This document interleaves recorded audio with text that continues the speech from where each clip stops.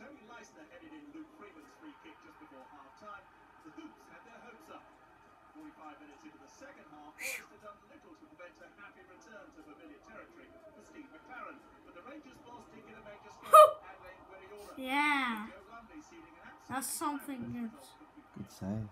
Players magnificent uh, from start to finish. Game plan against a very good Forest team. Air Island. We were hard to break down, hard to beat, well organised, uh, and dangerous on the break. And on set plays, uh, we won the game. at last hadn't won in every attempt 34 as a city ground QPR finally done it that's the worst away hoodoo in the EFL is broken don't know who owns it now Yeah, QPR done the right thing. You know, they've got a right, the right experienced players in there to mix with the great youngsters that they have, and they've got a great balance. And today, the winning goal was scored by the one summer signing, Leistner. Got um, Ipswich Boxing Day home to Reading in 29th let's not get ahead of ourselves but looking great for them at the moment. And Borough 1-0 win today they've stopped the rot which a, a, a temporary